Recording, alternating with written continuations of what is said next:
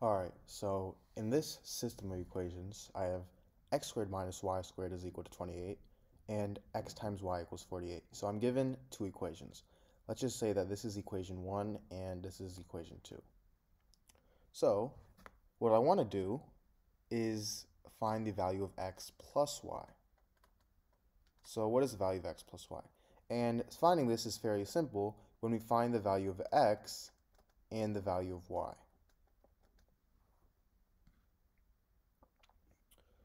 So to start, what I'm actually going to do is I'm going to use my second equation here.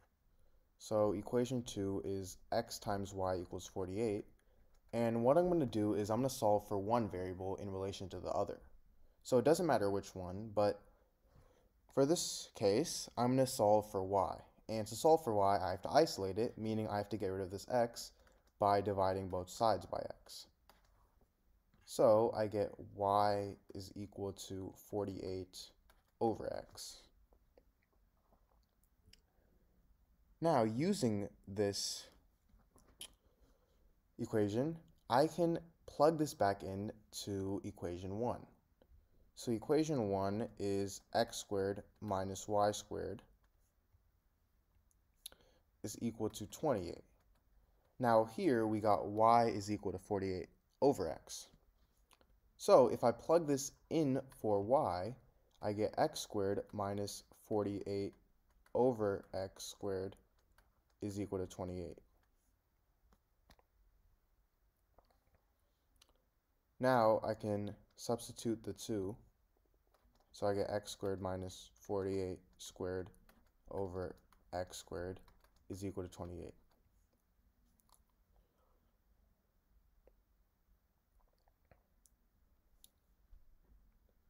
Now, I'm going to multiply both sides by x squared.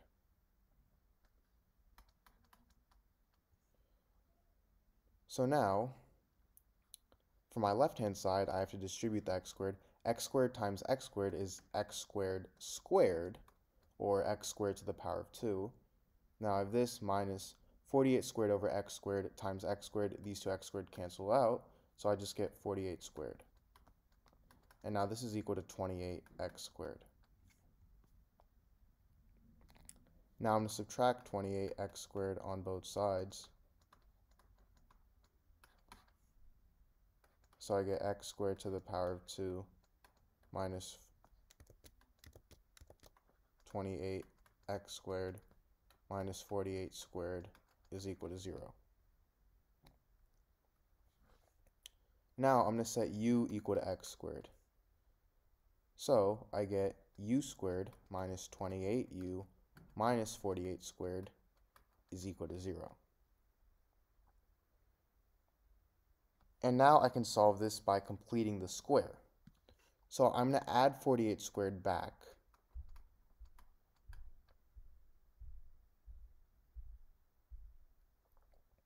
And Now I get u squared minus 28u is equal to 48 squared.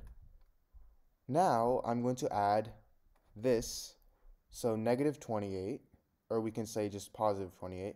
I'm going to add this divided by 2 squared on both sides. And if you don't, if you guys don't know what completing the square is, you have to go watch a video on it.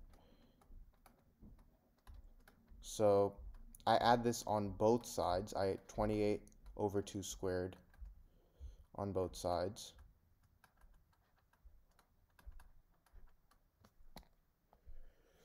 And 28 over 2 is 14, so I get u squared minus 28u plus 14 squared, which is equal to 48 squared plus, again, 14 squared.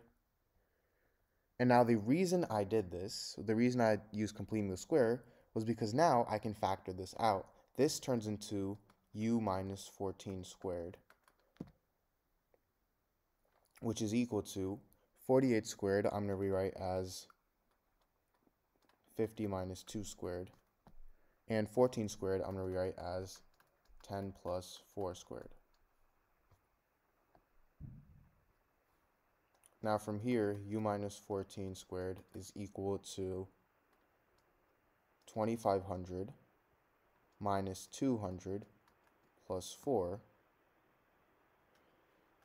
plus 100 plus 80 plus 16.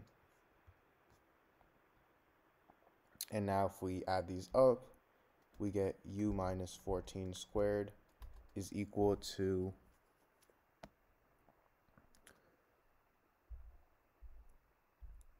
Twenty-five hundred, and if we take the square root on both sides, we get u minus 14 is equal to positive or negative 50.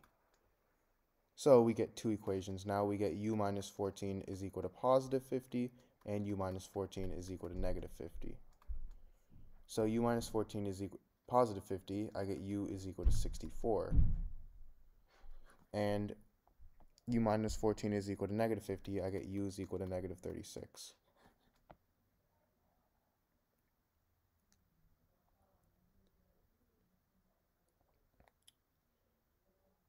Now remember how we let u equal x squared.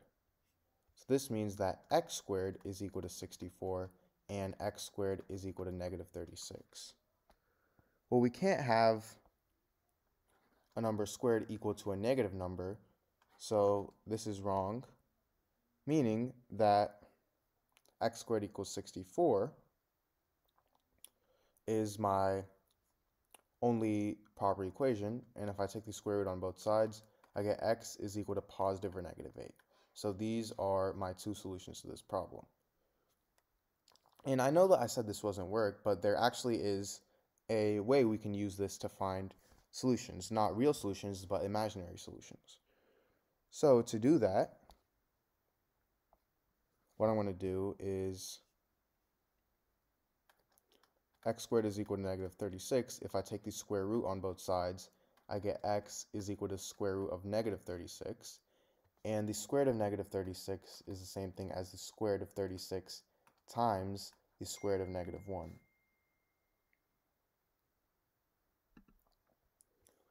Now the square root of negative 1 is the same thing as i, so I get x is equal to the square root of 36i. And the square root of 36 is the same thing as positive or negative 6. So I get x is equal to positive or negative 6i. So these are another two solutions. And these aren't real solutions, but these are imaginary solutions, which still count as solutions to this problem.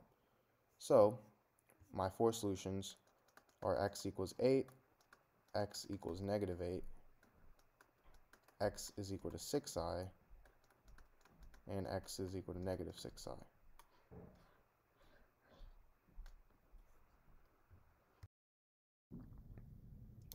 Alright, so in this problem I have m minus n squared is equal to m squared minus n squared. So to solve this problem, I'm going to first start by rewriting m minus n squared. And I'm going to rewrite this to m minus n times m minus n.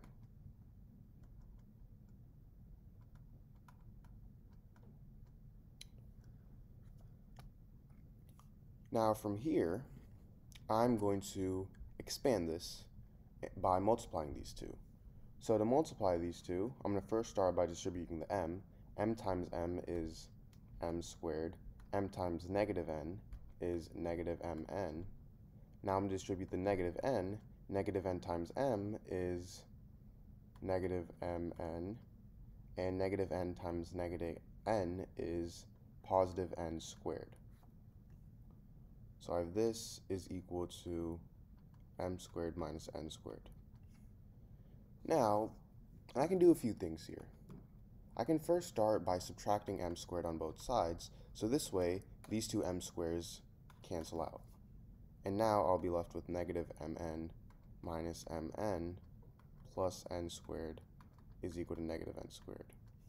Now negative mn minus negative mn is equal to negative 2mn. And then now if I subtract n squared on both sides, these two cancel out and I get negative 2n squared.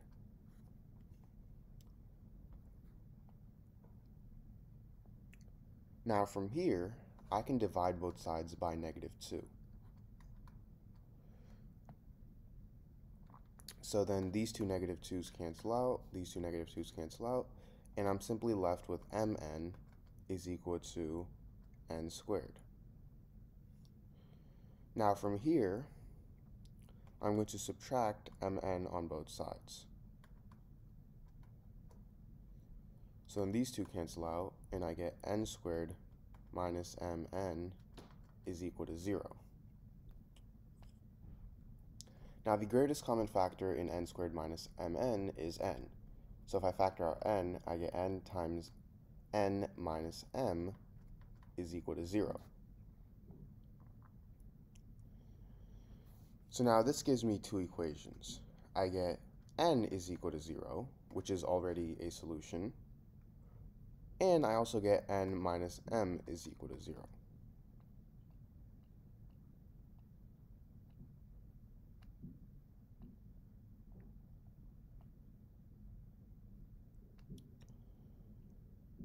Now,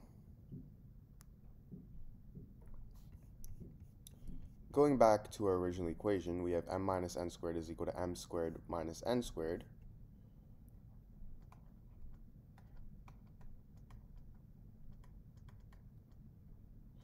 If n equals 0, I get m minus 0 squared is equal to m squared minus 0 squared, which turns into m squared is equal to m squared,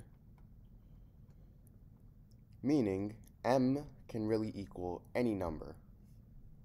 If m equals 5, then I have 5 squared is equal to 5 squared. If m equals 100, I get 100 squared is equal to 100 squared. So m can equal any number if n is 0. Now for here, I have n minus m equals 0. So if I add m on both sides, I get n is equal to m. Now, if I put this back into my regular equation, I get I have m minus n squared is equal to m squared minus n squared, and I'm gonna I'm gonna rewrite n as m because they're both equal to each other. So now I have m minus m squared is equal to m squared minus m squared. m minus m is 0, so I have 0 is equal to 0. And this means that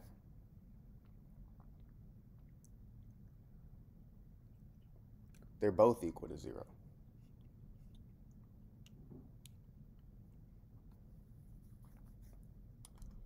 So, now going back, what I'm going to do is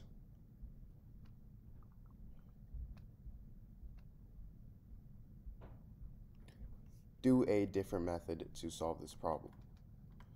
So method 2 is, first let's rewrite the equation. We have m minus n squared is equal to m squared minus n squared. And now this time, I'm going to again expand m minus n squared to m minus n times m minus n.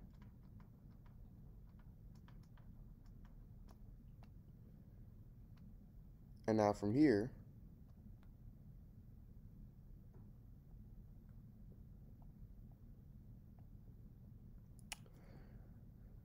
I'm going to rewrite m squared minus n squared as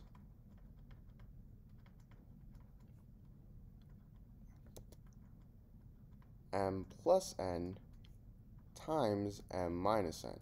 Because if I have something in the form a squared minus b squared, this is equal to a plus b times a minus b. So, now as you see, we can simply divide both sides by m minus n, cancel these two out. So now I'll be left with m minus n is equal to m plus n. Meaning, if I subtract m on both sides, I get negative n is equal to positive n. If I add n on both sides, I get 2n is equal to 0, meaning